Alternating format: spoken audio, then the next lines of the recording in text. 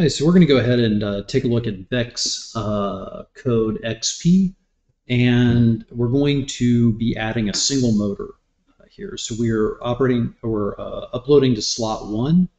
We've saved our uh, file as motor. Um, in this case, I'm connected to the controller, uh, which has already been paired with a brain and we're uh, connected with the controller to the USB, so it's downloading the program wirelessly from the controller. Okay, so where we're going to start at here is that we're going to start at by adding a device. So we're going to click on device, and we're just going to click on motor.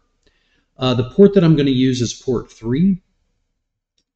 Okay, uh, I'm going to keep the motor uh, going forward uh, for now, and we'll do some experimentation with that and maybe reset it later. And we're going to go ahead and click done. Okay, so there are a couple different ways to spin the motor. So we can uh, we can have it act as a, a, regular motor. So we can spin it forward. Uh, uh, so spin motor three forward. Notice that we only have a selection here for the motors that we uh, we have defined in our devices menu on the right. So we can start the motor and then scroll down. To control, we can wait, say, one second and then we can stop the motor. Um, now, the motors don't act as you might expect in this case. So for example, we just hit, say, motor forward, it will just keep spinning if there's no weight. Um, so VexCode EXP is, is full of uh, under the hood, um, not so intuitive programming. So it really does take some experimentation. It's not you, it's the program. So just just know that things might not uh, go as expected. Things might not act as expected here. So uh, okay, so here we have spin motor forward, wait one second, and stop motor. So let's go ahead and download that. And let's see how we do. So this this motor uh, is the motor that is a uh, that is connected to the arm in this case. Uh, so let's see what happens here. We download it and we're going to click run. Let's see what happens.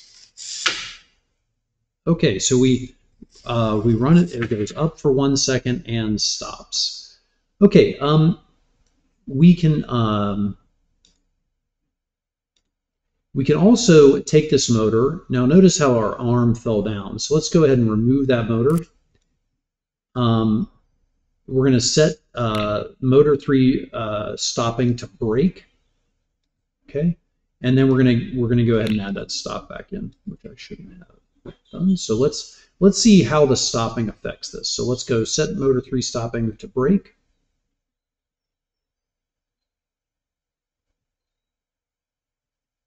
And we're going to go ahead and run it.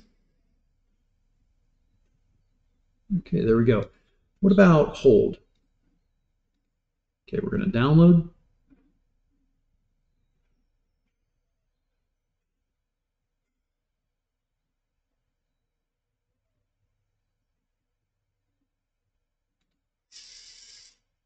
Okay, and so you see the difference there. So the stopping mode really does make a difference. So these smart motors are uh, are um, able to hold a position, but you need to have the setting there first. And then finally, let's take a look at coast.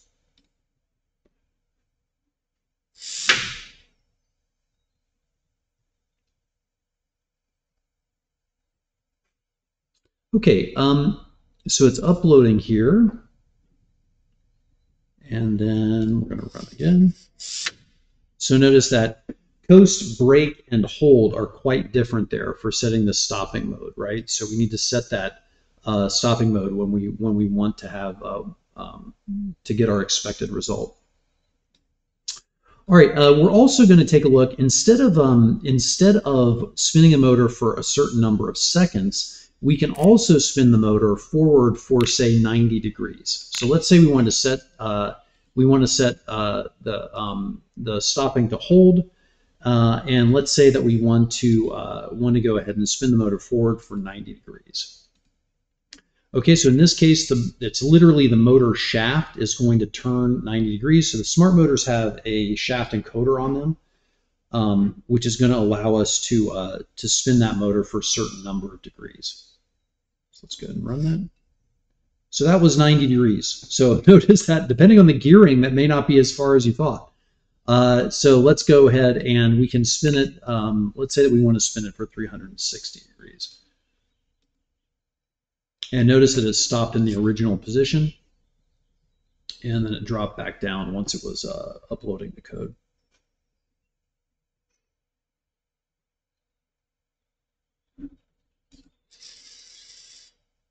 Okay, so there's our 360 degrees. Uh, let's say that we wanted to go up and then back down.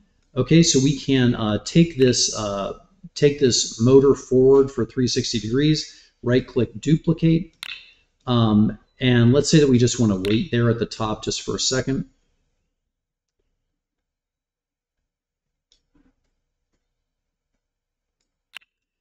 Okay, so we can do a couple of different things. Either we can set it to reverse, or we can set it to, or we can leave it in forward and just call it negative 360 degrees. Okay, that's our choice. Let's go ahead and also at, at this case, so we're basically, so we set the motor 3 to stopping to hold, we spin the motor forward for 360 degrees, we wait one second, we spin the motor uh, forward for negative 360 degrees, right?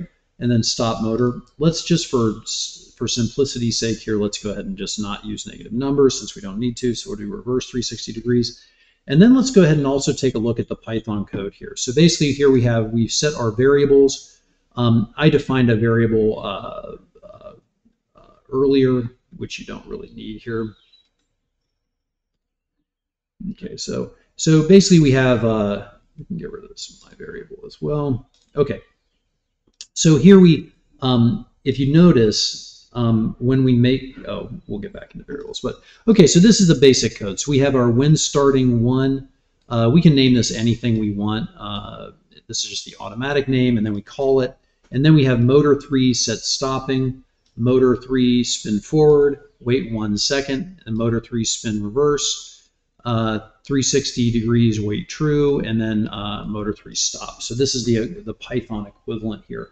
Uh, notice that in the Python code, there is no uh, place to do this uh, device setup, which is kind of interesting. I'm sure there's a way to add it, um, uh, just it does, doesn't appear here. So, uh, okay, so let's go ahead and download to uh, the robot again, and let's take a look here.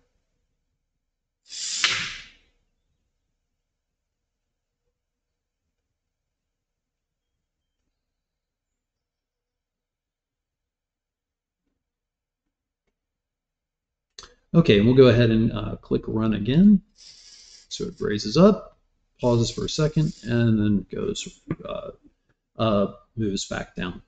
Okay, let's uh, let's take a look at the last uh, way that we can move the motor. So the motors can actually be used, uh, I would say, as a servo. So so um, actually, that we didn't need that last stop motor on there. Um, so the motors can also be used as a servo. So so we can spin um, motor three to position 90 degrees. So we so we can basically spin these. Um, uh, we can spin these uh, motor to some particular position. So in this case, let's say we want to turn it to position 180.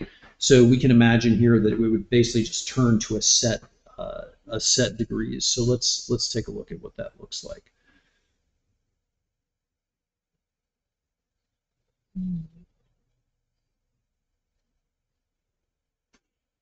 Okay, so in the in the previous example, we we turn spun the motor 360 degrees forward, then 360 degrees in reverse.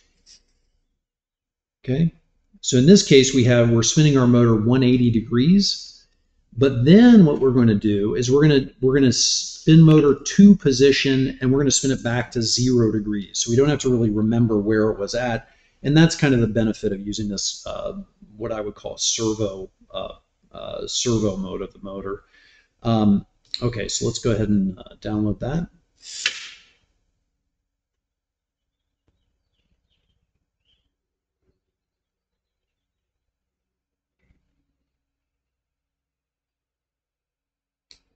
Okay, we'll go ahead and run it. All right. Okay, so that that is uh, those are our three uh, uh, uh ways that we can move the motor. Uh, let's go ahead and just take one more look um,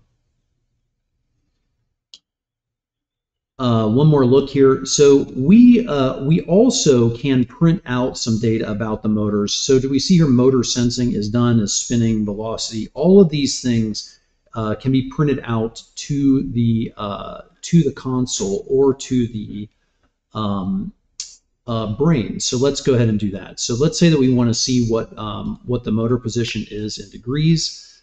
Um,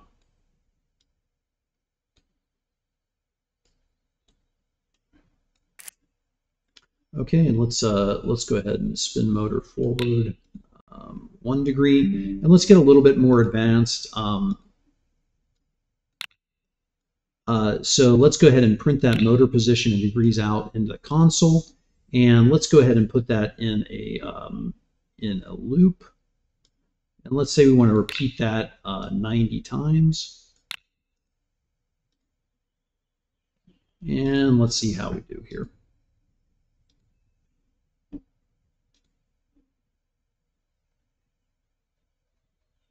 Okay, so here we're, we're just putting uh, this code into a loop. We want these things to repeat 90 times. We're going to move the motor forward one degree, and each time we do, we're going to print out the motor position in degrees. So let's go ahead over to the, um, the console, and we'll run.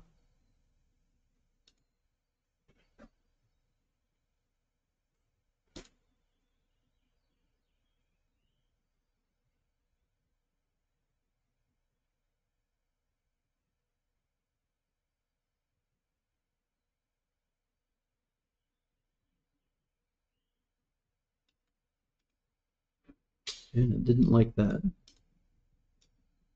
Okay, let's get rid of the loop. And uh, this is this is one of the things I was talking about with the the um, the unexpected behavior here. It sometimes has difficulty with loops.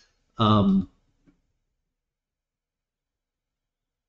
okay, so we're just going to spin the motor forward 100, uh, 180 times, or sorry, 180 degrees. Uh, and also printing out to the console, uh, I should have already done this. Uh, basically, you've noticed that if we don't set the cursor to the next line, it won't uh, won't print into the console. So I'm just going to download that one more time.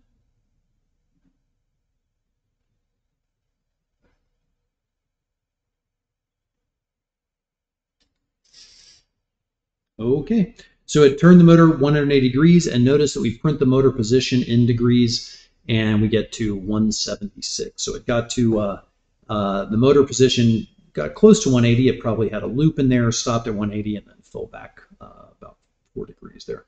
Okay, so those are some different ways that we can use. We can set up a motor and use some of the motor commands to get the motion that we're expecting and, and that will work for our uh, devices. Uh, best of luck.